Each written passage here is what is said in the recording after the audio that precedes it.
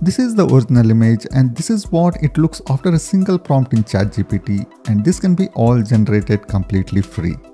And another example here, we'll see how well this color grade transfer works in ChatGPT without head scratching your way in Lightroom or Photoshop. I have two ways to show you how you can do this. The first one is select your photo for which you want to color grade on. I am using the app on my tablet by the way. It works similarly on mobile or on browser too. After selecting the photo, I type this prompt. Color grade this image to look like it's a scene from the movie Tron Legacy. That's the look I'm going for here.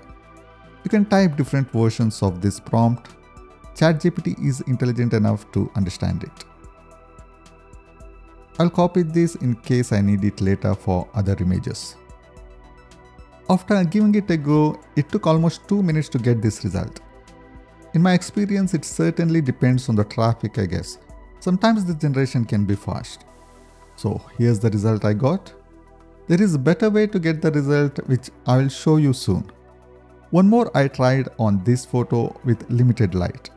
I wanted the color grade to look like it is from the movie Joker Unfortunately, this is what it came up with. I put another prompt to make it understand better. It wanted some clarification and I can't do it. It came up with this. This looks better but the face is changed completely. This may happen when the face from the original image is not clear enough. To fix this, after saving this image, I went to Pixnova AI website and used free face swapping feature here.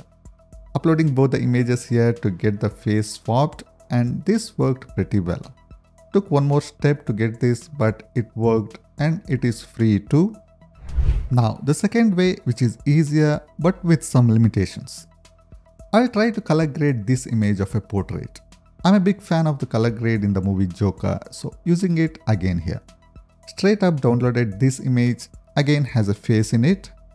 First I fed this image to ChatGPT and then uploaded the portrait which I want to color grade. So two images uploaded at the same time. And I keyed this prompt, copy color grade from first image to the second one. And I was really impressed with the result here. The shades of cyans and oranges copied to this image. Again, I see the limitations here. The details on the face have gone, so you need to be aware of this. You can always try swapping faces if needed. The results are quite good in some situations, so no need to always swap faces. And for this image from Paris, I fed this still from Tron Legacy with dual colors and the result was stunning compared to the one where I used only the prompt earlier. Few more examples.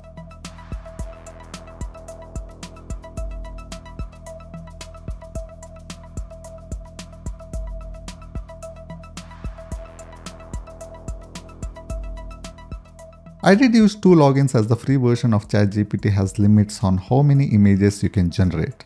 So giving a prompt with single image uploaded, you have more images to work with as the limit is on number of images uploaded. So two images at a time to copy color grade from one image to the other. You can only do two or three prompts as you will spend more images on fewer prompts before you get the message to upgrade or you have to wait it out till the message goes away. So advanced users get unlimited generations and of course you need a subscription for this. Let me know in the comments what you think about this and how well it worked for you. Subscribe for more for these kinds of videos and see you in my next video.